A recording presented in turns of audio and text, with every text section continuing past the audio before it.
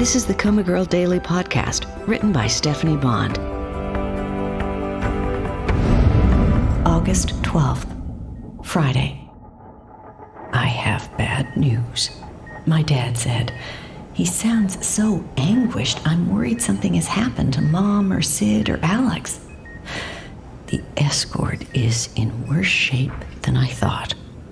Ah, of course, my car. I was sure the guy at the shop I use could fix it, but he said he can't. Hmm. Well, it has 150,000 miles on it, so it's probably time for a new car anyway. But I'm not giving up. I called around and found another mechanic who's supposed to be great, and he agreed to take a look at it. I'm going to have it towed there in the next few days. Car isn't worth saving, but fixing it seemed important to Dad for some reason. I suppose it gives him something to focus on. I know your mom talked to you about moving back home for a while when you get out of the hospital, and I figure you might like to take some time off to recover fully before you go back to work. So I was thinking maybe you could go with me on the road for a few days how does that sound? It sounds as if he's trying to hit the rewind button, and it's a sweet gesture. But I'm already wondering what we'd talk about for hours and hours in the car. It wouldn't be all sales calls, he said. We could stop off and see some museums and maybe hit a few flea markets. Do you still collect books? I'm more into ebooks these days, but I still wander into bookstores occasionally. Tabitha and I meet for tutoring sessions at a public library, and it had reignited the Luddite in me. Dad isn't much of a reader, but it's nice he remembered I am. Maybe stop at a casino to play the slots and see a show. Would you like that? Who wouldn't? And there's lots of state parks along my route. We could go hiking. How does that sound, sweetheart? It sounds nice, Dad. I said, How does that sound? It sounds nice, Dad. I said, How does that sound?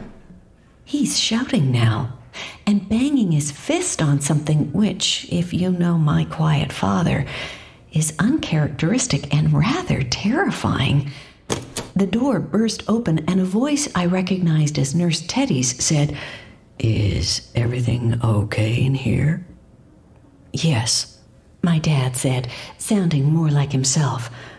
I'm sorry, I don't know what came over me. It's okay, Teddy said, but his voice was tentative as if he were scanning my father for signs of another outburst. Would you like to talk to someone, Mr. Camp? What do you mean? A chaplain, perhaps, or maybe a family counselor? You mean a shrink? Not necessarily, but someone who understands what you must be going through. No one understands what I'm going through, my dad said in a low voice. And we're not the kind of people who talk about our problems.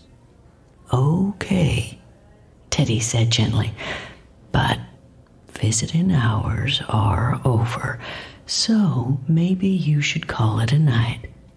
The patients need their rest. Right, my dad said, sounding utterly defeated. I'm not helping. I'll go. When he left, I wondered how things were at home between him and Mom. They hadn't visited together in a while.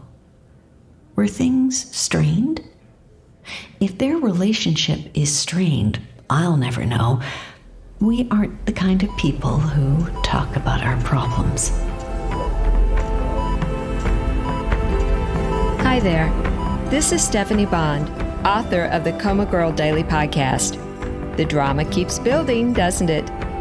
If you're enjoying the story, I hope you'll consider leaving a five star review wherever you listen to podcasts to help more people find Coma Girl. Thank you so much. And come back tomorrow for another can't miss episode of Coma Girl.